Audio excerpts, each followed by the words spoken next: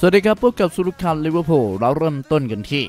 ลิเวอร์พูลได้แต่มองคู่แข่งตัวฉกาจจ่อปาดหน้าคว้าเป้าหมายอีกราย เหตุเงินถึงกว่า เป้าหมายลิเวอร์พูลส่อแววเสร็จคู่แข่งตัวฉกาจอีกราย หลังพร้อมทุ่มเงินคว้าตัวตามที่ตัวฉกาจต้องการวันที่ 14 สิงหาคมนะครับเดอะซันสื่อจอมซุบซิบแห่งเมืองผู้ดีเปิดเผยว่าแมนเชสเตอร์ซิตี้ทีมเงินหนาแห่งศึกพรีเมียร์อังกฤษพร้อมยื่นข้อเสนอ 47 ล้านปอนด์นะครับราว 2,660 ล้านบาท เพื่อคว้าตัวเชเรมีโดกูปีกความเร็วสูงทีมชาติเบลเยียมจากแรนส์สโมสรในลีกเอิงฝรั่งเศสมาเสริมทัพรายที่ 3 ในช่วงซัมเมอร์นี้ต่อจากมาเตโอโควาซิชและยอสโกกวาร์ดิโอลแมนเชสเตอร์ซิตี้แสดงความสนใจในตัวเชเรมีโดกูเพื่อแทนที่ริยาดมาห์เรซที่ย้ายไปค้าแข่งในลีกซาอุดิอาระเบียกับอัลอาห์ลีซึ่งดาวเตะในวัย21ปี ก็เป็นรุ่นน้องของเควินเดอบรอยน์ในนามทีมชาติเบลเยียมอีกด้วยทำให้น่าจะปรับตัวเข้ากับเรือใบสีฟ้าได้ไม่ยากนะครับ โดยทางข่าวระบุว่าเชเรมีโดกูนะครับสนใจย้ายมาร่วมงานกับแมนเชสเตอร์เช่นกัน แต่เดอะเทเลกราฟสื่ออีกสำนักของเกาะอังกฤษรายงานมาว่าแรนส์ต้องการค่าตัวประมาณ 43-52 ล้านปอนด์ราว 1,892ล้านบาท ถึง 2,280 ล้านบาท หากตัดสินใจย้ายมาในช่วงตลาดซัมเมอร์นี้ ก่อนหน้านี้ลิเวอร์พูลของพวกเราทีมคู่แข่งพรีเมียร์ลีกอังกฤษของแมนเชสเตอร์ก็เคยอยากได้ตัวเชเรมีโดกูมาแล้วนะฮะ ซึ่งก็เกือบที่ย้ายจากอันเดอร์เลชท์มาร่วมงานกันเมื่อปี 2018 แต่ท้ายที่สุดตัดใจย้ายไปร่วมทีมแรนส์แทนนะฮะ แม้ว่าหงส์แดงยังติดตามดูฟอร์มการเล่นอยู่ แต่ก็ไม่ได้ยื่นข้อเสนออย่างเป็นทางการสักทีซึ่งตอนนี้กลายเป็นแมนเชสเตอร์ที่กำลังจะเข้าป้ายคว้าตัวไปร่วมทัพแทนนะฮะ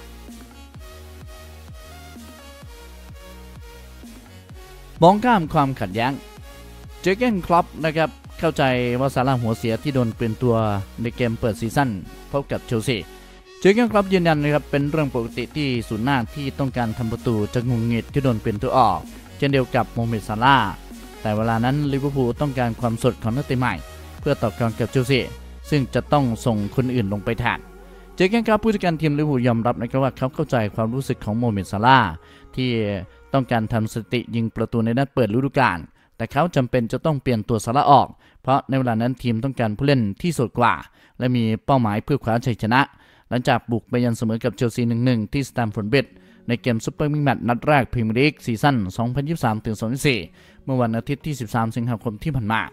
หงส์แดงได้ประตูนำไปก่อน 1-0 นะครับ จากการยิงของหลุยส์ดิอาซและเกือบนำไปเป็น 2-0 จากการยิงของซาลาห์แต่ว่าล้ำหน้าไปนะครับ อย่างไรก็ตามเชลซีมาตีเสมอได้สำเร็จจากอักเซลดิซาซีในนาทีที่ 37 ในขณะที่ครึ่งหลังหัวหอกมัมมี่ซาลาห์โดนเปลี่ยนตัวออกในนาทีที่ 77 แล้วเป็นฮาร์วีย์เอลเลียตต์ลงไปเล่นแทน แต่ก็ไม่มีประตูเพิ่ม จึงเสมอกันไปด้วยสกอร์เดิมในครึ่งแรกเรามาที่นี่เพื่อชนะเกมการแข่งขันนายใหญ่ชาวเยอรมันกล่าว เมื่อถูกทำถึงศูนย์หน้าแดนพีระมิดที่แสดงอาการหงุดหงิดอย่างเห็นได้ชัดเจนตอนเดินออกจากสนาม โมยอดเยี่ยมและยอดเยี่ยมและสำคัญมาก เราตัดสินใจเราต้องการแข่งใหม่เขามีสถิติที่ทำแตกต่างกันถึง 500 รายการ ผมไม่สามารถคิดถึงสิ่งเหล่านี้ได้ในระหว่างเกม เรายังไม่ได้คุยคุยกันเลย เขาทำประตูได้ เขาจะต้องเป็นผู้ทำลายสถิติยิงประตูทุกนัดในนัดเปิดซีซั่นผมเข้าใจความผิดหวังของเขา แต่ในช่วงเวลานั้นเราต้องการความสด 99%ฉะนั้นชัดเจนว่าเขาไม่มีความสุข ผมเข้าใจเรื่องนั้นดี มันไม่มีปัญหาฤดูกาลใหม่นี้เจอร์เกนคลอปป์มีผู้เล่นแนวรุกให้เลือกใช้งานมากขึ้นทั้งซาลาห์ดิโอโกโชต้าหลุยส์ดิอาซโคดีกักโปดาร์วินนูนเยซรวมถึง 2กองกลางตัวใหม่อย่างอเล็กซิสแม็คอัลลิสเตอร์ และโดมินิกโซบอสไลทำให้มีความเป็นไปได้ว่า การสลับตัวผู้เล่นเพื่อทำให้ร่างกายมีความสดอยู่เสมอนั้น จะนำมาใช้ในฤดูกาลใหม่นี้มากขึ้น เพื่อให้ประสิทธิภาพไม่ลดทอนลงไป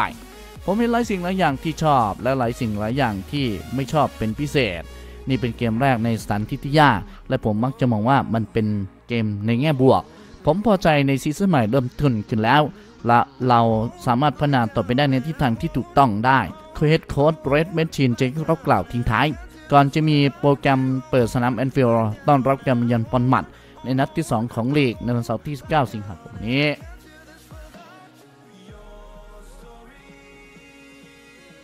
ด่วน รายงานล่าสุดจากเมลสปอร์ตครับรายงานมาว่าลิเวอร์พูลกำลังพิจารณาเพื่อยื่นข้อเสนอคว้าตัวโซฟิยานอัมราบัตมาร่วมทีมนะครับหงส์แดงลิเวอร์พูลของพวกเรามีปัญหาในแดนกลางตัวรับนะครับที่กำลังมองหาที่จะซื้อเข้ามาเสริมทัพ เนื่องจากมีปัญหาณตรงนี้ หลังล่าสุดไม่สามารถปิดดีลโรเมโอลาเวีย และมอยเซสไกเซโดได้ โดยล่าสุดเมลสปอร์ตนะครับออกมารายงานมาว่า ตอนนี้หงส์แดงกำลังดิ้นอย่างหนัก เพื่อกองกลางตัวรับคนใหม่ กับตลาดนักเตะเหลืออีกไม่กี่วันข้างหน้านี้แล้ว โดยล่าสุดนะครับเมลออนไลน์รายงานมาว่ากำลังพิจารณาเพื่อยื่นข้อเสนอ ในการคว้าตัวโซฟิยานอัมราบัตมาร่วมทีม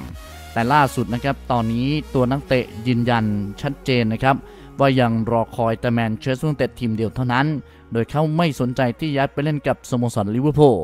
โดยแมนเชสเตอร์ยูไนเต็ดเป็นทีมเดียวที่เขาจะลงเล่นให้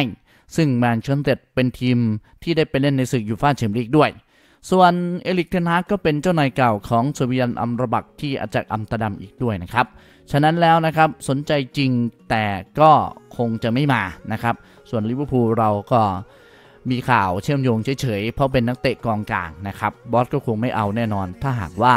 ไม่มีใจให้นะครับ ฉะนั้นก็ลืมไปเลยนะครับสำหรับโซฟิยานอัมราบัตนะฮะ เจอร์เกนคลอปป์ยันหงส์แดงเดินหน้าหามิดฟิลด์ต่อไป เจเกนคอมในใหญ่ของลิเวอร์พูลนะครับยืนยันเองว่าทีมจะยังคงเดินหน้าหาผู้เล่นในตำแหน่งกองกลางตัวรับต่อไป หลังชวดได้ตัวโรเมโอลาเวียมอยเซส ไกเซโดสองตัวหลักเป้าหมายนะครับหงส์แดงแสดงความชัดเจนว่าต้องการมิดฟิลด์ตัวรับมาเสริมทัพในซีซั่นนี้ โดยล็อกเป้าไปที่ลาเวียจากเซาท์แฮมป์ตันและมอยเซส ไกเซโดจากไบรตันแต่ทั้งคู่เตรียมย้ายไปอยู่กับเชลซี โดยเฉพาะในรายหลังแม้จะตกลงเรื่องค่าตัวกับต้นสังกัดของนักเตะได้แล้ว แต่ทว่าแข้งดีกรีทีมชาติเอกวาดอร์อยากย้ายไปอยู่กับสิงห์บูเชลซีมากกว่า แม้ว่าจะพลาดเป้าไปทั้งสองเป้าหมายสำคัญ แต่กุนซือเยอรมันยืนยันว่า ทีมยังคงต้องการดึงแข้งเบอร์6มาร่วมทีมก่อนที่ตลาดซัมเมอร์จะปิดตัวลงสิ้นเดือนนี้ นี่จะเป็นผู้เล่นที่เฉพาะเจาะจง คุณสามารถมองเห็นตลาดการซื้อขายนักเตะช่วงนี้ว่ามันบ้ามากๆเจอร์เก้นเขากล่าว ไม่ได้มีความลับอะไรที่เรากำลังมองหาผู้เล่นในตำแหน่งนั้น ส่วนเรื่องที่เมาริซิโอ โปเชตติโนนายใหญ่เชลซี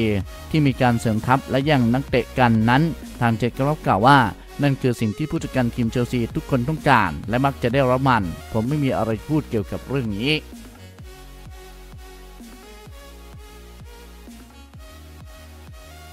คุณรู้หรือไม่ เอาแม็กอลิสเตอร์ไปเล่นกลางรับมันเสียดายของ เหมือนเอาดาบซามูไรไปหั่นผัก ใช้ไม่ถูกวิธี เกมในค่ำคืนที่ผ่านมานะครับลิเวอร์พูลของเราเสมอกับเชลซีไป 1 ประตูต่อหนึ่งแบบเรียกได้ว่าฟอร์มการเล่นก็ไม่ค่อยดีนัก แต่สิ่งหนึ่งที่เป็นนิมิตหมายอันดีก็คือนักเตะ 2 คนใหม่ที่ย้ายเข้ามาร่วมทีมอย่างอเล็กซิสแม็กอลิสเตอร์และโดมินิก โซบอสไลนั้นเล่นได้อย่างยอดเยี่ยม แต่มีสิ่งหนึ่งที่แฟนบอลเห็นแล้วขัดใจนะครับ แล้วก็เห็นด้วยกับแอดมินในที่สุดแน่ๆ นั่นก็คือการเอาอเล็กซิสแม็กอลิสเตอร์ไปเล่นในตำแหน่งกองกลางเบอร์ 6 หรือว่ากองกลางตัวรับ ซึ่งมันไม่ถูกต้องเหมือนกับเราเอาดาบซามูไรไปหั่นผักนั่นเอง เพราะตำแหน่งที่แท้จริงของอเล็กซิสแม็กอลิสเตอร์ก็คือตำแหน่งหมายเลข 8 หรือตำแหน่งหมายเลข 10 เป็นกองกลางตัวรุกนั่นเองนะครับ ซึ่งเขาโดดเด่นในเรื่องของการจ่ายบอล การจ่ายบอลแบบก็ได้ก็เสียหรือว่า killer passและการควบคุมจังหวะเกม การ เปลี่ยนจากเกมรับกลายเป็นเกมรุก ตรงนี้เขาโดดเด่นมากๆ เราชอบในการจ่ายบอลของเขา มันน่าจะดีมากกว่าถ้าหากเขาเล่นในตำแหน่งที่สูงกว่ากองกลางตัวรับ ซึ่งแน่นอนนะครับ ตรงนี้แมกกาควรที่จะไปเล่นในตำแหน่งนักเตะหมายเลข 8 ไม่ใช่นักเตะหมายเลข 6 ก็ขอกองกวางตัวรับนั่นแหละครับ เมื่อคืนที่ผ่านมาก็เห็นแล้วนะครับ เห็นด้วยเป็นที่สุดนะครับแฟนๆมีความคิดเห็นกันอย่างไร ชัดเจนมากนะครับ มันต้องเป็นกองกลางตัวรุก ไม่ใช่กองกลางตัวรับสำหรับแม็กอลิสเตอร์นี่คือสรุปข่าวลิเวอร์พูลครับซึ่งเป็นรอบเย็นของวันที่ 14 สิงหาคม ขอเชิญแฟนๆนะครับร่วมเป็นส่วนหนึ่งในการเชียร์สโมสรลิเวอร์พูลสโมสรที่ทุกท่านรักไปกับชายผู้บ้าคลั่งลิเวอร์พูลและเดอะค็อปแฟนบอลพันธุ์แท้เรามาเป็นส่วนหนึ่งในการร่วมเชียร์สโมสรที่เรารักไปด้วยกันนะครับแล้วก็อย่าลืมนะครับกดกระดิ่งและกด Subscribe เพื่อเป็นกำลังใจให้กับทีมงาน ชายผู้บ้าคลั่งลิเวอร์พูลและเดอะค็อปแฟนบอลพันธุ์แท้ที่สำคัญนะครับมือน้อยๆของทุกท่านมีค่ามากมายต่อพวกเรานะครับอย่าลืมนะฮะกดแชร์ให้เพื่อเป็นกำลังใจให้ด้วยนะครับ แล้วก็กลับมาพบกันใหม่ สวัสดีครับ